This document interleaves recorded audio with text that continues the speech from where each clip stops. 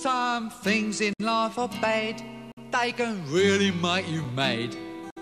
Other things just make you swear and curse. When you're chewing on life's gristle, that grumble, give a whistle. And this'll help things turn out for the best. And always look on the bright side of life. Think moderately ha. Oh.